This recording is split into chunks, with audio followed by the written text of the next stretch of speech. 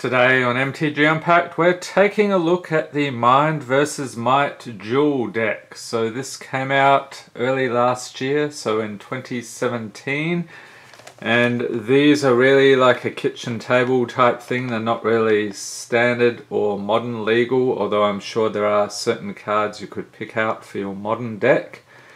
So we have Jhoira of the Ghitu and Lovisa Coldeyes. I'm thinking this is going to be a battle of control versus aggro. So let's take a look here. Yep, Wizards and Warriors battle in the classic struggle of brains against Born. Born. Brawn. There we go. So this is the Artificer Mage Jhoira and Clan Chieftain Lovisa Coldeyes. You get two 60 card decks, 10 tokens, two deck boxes, strategy insert, and a... Oh, two spin downs. Okay. So you're pretty much all set to play Magic at the kitchen table, one deck per person. So let's take a look at this. And we'll get our Planeswalkers out of the way because they won't be needed for Pact Blessings today. They're just decoration, which may or may not offend them. Alright, so here we have the usual quick reference card. Let's take a quick look at the insert here. So here is the might side. You can take a look at yeah, so we've got a nice range of cards here from throughout Magic history. Other spells, lands, some tips for how to play this deck. Lovisa Coldeyes. And then if we look at the brains side of things, we have Jhoira of the Ghitu, and it's talking about creature tokens okay? And then here's the deck list for this one. So take a close look at that. A lot of champions of Kamigawa that's interesting. Some tips for playing the deck. So I will say this one I noticed was sitting on the shelves quite a while at the local game store not really flying off there like the Goblins one did, but still I think it's worth checking out. There's also the Elves versus Inventors, that was another one that came out more recently. So here's the deck box. Fold that together. And we should get another one of those. That's pretty cool. Yep, here we go. So this is the one with Jhoira. Very simple design. All your cards in there. And are the duel decks something you have been wanting to check out? Do you actually own any of them? What are your favorite duel decks? Leave a note in the comments. So we get a white spin down and a like a grey and black one. So you can take your pick there. Let's take a look at these foil cards. So we get Jhoira of the Ghitu, 2-2 for 3 mana legendary creature human wizard. So this one you could use in a commander deck. Pay 2, exile a non-land card from your hand and you get to put 4 time counters on the exiled card. If it doesn't have suspend, it gains suspend. So at the beginning of your upkeep, remove a time counter from that card. When the last is removed, cast it without paying its mana cost. If it's a creature, it has haste.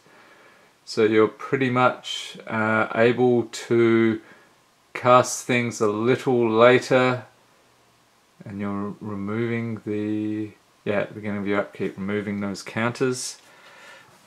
And for the bronze side of things, we have Lovisa Coldeyes, another foil, 3-3 for 5 mana legendary creature human. Each creature that's a barbarian, a warrior, or a berserker gets plus 2, plus 2, and has haste.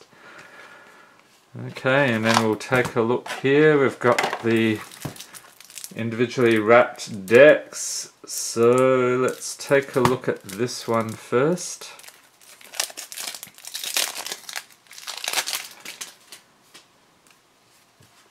And we'll separate out the mana.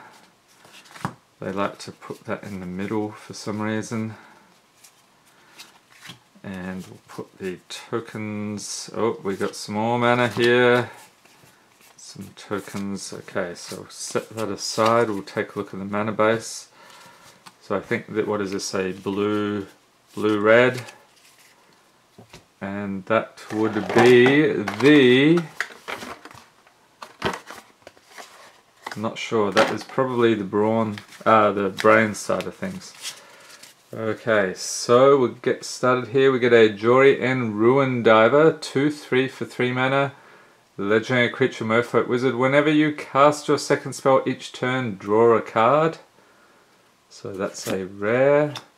Talrand Sky Summoner, 2-2 for 4 mana, legendary creature, Merfolk Wizard. Whenever you cast an instant or sorcery spell, create a 2-2 blue Drake creature token with flying. Oh, what's this? Sage Eye Avengers. Very strange. Creature Djinn Monk, 4-5 for 6 mana with prowess. So whenever you cast a non-creature spell, this creature gets plus 1 plus 1 until end of turn. And whenever it attacks, you may return target creature to its owner's hand if its power is less than Sage Eye Avenger's power. Oh, Deep Sea Kraken. Don't think I've ever seen this one. This is a 6 6 4 10 mana. Deep Sea Kraken can't be blocked. It has suspend 9, you can pay 2 and an island. And this is talking about that suspend thing, so basically 9 time counters. I would be surprised if you can get that off in time, but whatever, this is like a game ender. Whenever an opponent casts a spell, if Deep Sea Kraken is suspended, remove a time counter from it. Ah, there we go, there's the secret. So that's how you get rid of some of those time counters. The Unspeakable! This is a legendary creature spirit, 6, 7, 4, 9 mana with flying and trample. Whenever it deals combat damage to a player, you may return target arcane card from your graveyard to your hand. So I'm assuming there's some arcane type that we'll see in here shortly. Instant Quicken for a single island. Next sorcery card you cast this turn can be cast as though it had flash. So basically cast anytime you could cast an instant and you also get some card draw out of this one. Mind's Desire. Sorcery for 6. Shuffle your library, then exile the top card of your library. Until end of turn you may play that card without paying its mana cost. And a Volcanic Vision. Sorcery for 7. Return target instant or sorcery card from your graveyard to your hand and it deals damage equal to that card's converted mana cost to each creature your opponents control. And then exile Volcanic Vision. Firemind's Foresight. Instant Force 7. Search your library for an instant card with converted mana cost 3, reveal it and put it into your hand and repeat this process for instant cards with converted mana cost 2 and 1 then shuffle your library. Well, we got a ton of rares in this. That's pretty good. Beacon of Tomorrows. Sorcery for 8. Target player takes an extra turn after this one. Shuffle Beacon of Tomorrows into its owner's library. And then we're moving on to some uncommons. So the Young Pyromancer. I think that's worth a couple of bucks. Nivix Cyclops. Goblin Electromancer couple of those guys. Another young pyromancer. Spellheart Chimera. Nuckelavee. What the heck is that? I am struggling to understand what I'm looking at. Are those eyeballs in there? Leave a note in the comments if you know what the deal with that guy is. Reach through mists. Ah, there we go. There's an arcane. So just a particular type of spell. We get two of those three of those. Peer through depths. So I'm guessing we're getting a couple of those. Snap. And that's some pretty cool artwork as well. That'd be a nice one in foil actually. Desperate Ritual. So here's another arcane. Grape Shot. Rift Bolt. Get a couple of those. So what we got? Three. Sift through sands, another of the arcane type. Empty the warrens, and we have the goblins! Here they are! Nice goblin army. Create two 1 1 red goblin creature tokens. So two of those, Temporal Fissure, Shivan Meteor, 13 damage to target creature. Craziness. And that's it. So I think that was the brains portion. I could be mistaken though, so we'll take a look into this other deck here. Oh, and before we, we go on to that second one, so we've got one, two, three, four, five, six, seven, eight, nine islands. One, two, three, four, six, seven, eight, nine, ten mountains. And we also have some non-basic lands. We get a Swiftwater Cliffs. Two, three, yeah, I would expect four of those. Okay. And then we get some cool tokens here. We get one of these nice goblin tokens and just single-sided. Elemental token, that's pretty cool. Couple of those, and again those are single-sided. Drake token, and that's it. Okay, so moving on to the second deck. Uh, let's find these. Okay, so this is 1, 2, 3, 4, 5, 6, 7, 8, 9, 10, 11. One, two, three, four, five, six, seven, eight, nine, ten forests. And what else do we have here? I've got a couple of others. So this is a green and red deck.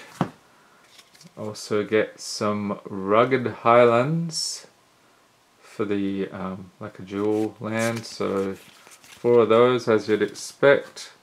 Get you a bit better mana fixing. We get a beast token, single-sided, elephant token, couple of those, elf warrior, and a worm token. Look at that thing. Alright, so this is definitely looking more brawny to me. Get some big creatures here I'd ex expect to see. So first off we have Talara's Battalion. This is a creature elf warrior 4-3 for 2 mana with trample. You cast it only if you've cast another green spell this turn. Radha Heir to Keld.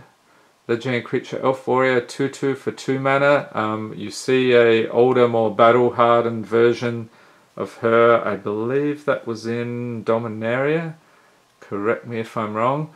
Whenever Radha Heir to Keld attacks, you may add two mountains to your mana pool, and you can tap add a forest to your mana pool. Seems good. Zozu the Punisher, legendary creature goblin warrior. Look at that guy. 2-2 for 3 mana. Whenever a land enters the battlefield, Zozu the Punisher deals 2 damage to that land's controller. That's a nice ability there punish them for playing their lands. Rubble Belt Raiders, pay one and a mix of either mountains or forests, so three of those. Say 3-3 creature human warrior.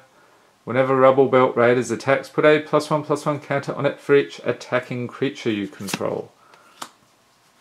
Kamahl, Pit Fighter, Human Barbarian, Legendary Creature 6 1 4 6 mana. Okay, had trouble seeing now. I thought he might have been a goblin, but no, definitely human. He has haste, and you can tap it, and it deals 3 damage to target creature or player. Call of the Herd, some dirty big elephants. Sorcery for 3, create a 3-3 green elephant creature token, and flashback 3 and a forest. So you can cast it from your graveyard for its flashback cost and then exile it We'll get a couple of those guys. Increasing Savagery. Sorcery for 4. Put 5 plus 1 plus 1 counters on target creature. If Increasing Savagery was cast from a graveyard, put 10 plus 1 plus 1 counters on that creature instead. That is definitely Increasing Savagery. Flashback 5 and 2 Forests. Coat of Arms. This is an artifact for 5. Each creature gets plus one plus one for each other creature on the battlefield that shares at least one creature type with it. So if you have two Goblin Warriors and a Goblin Shaman on the battlefield, each gets plus two plus two. That's a pretty good one for the tribal synergies. Beacon of Destruction, instant for 5. It deals 5 damage to target creature or player. Shuffle it into its owner's library. And that was our rares I would expect. We move on to a common Skarrgan Pit Skulk. Burning Tree Emissary.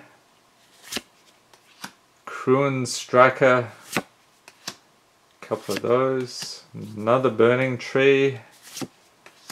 Another one of these guys. Relentless Hunter. Creature Human Warrior. Ambassador Oak. We get a Tree Folk Warrior. So a couple of those. And we get some Gorehorn Minotaurs. Minotaur Warriors. So you can see you've got some tribals here. Tree Folk, Humans, Minotaurs, all Warriors. So that other card could pump those up. Cloud Crown Oak, another tree folk. Got two of those. Firebolt. Guttural Response. So counter target blue instant spell. Rampant Growth. We get a few of these. Sylvan Might. Harmonize. Beast attack. What is that? Eh? It's just a beast. Alright, fair enough. Roar of the Wurm. Create 6 6 green worm creature token.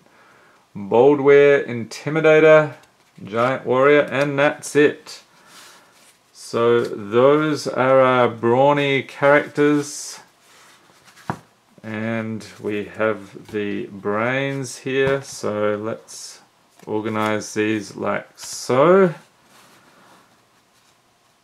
And these decks are really fine-tuned to play against each other so that's the whole point. Pretty much you have a ready to go magic game in the one box so that seems pretty good uh, if you were playing them against other decks, I'm not sure how well that would work out. Uh, you might easily be able to overpower these, but they tend to try and make these match up pretty well. Leave a note in the comments if you've played this one before. What do you think? I'm interested to hear how that went. And I hope you enjoyed this video. If you did, give it a thumbs up. Hit the subscribe button for more Magic the Gathering unboxings. And be sure to tap the notification bell to be notified as soon as new videos are released. Thanks for watching and have a great day.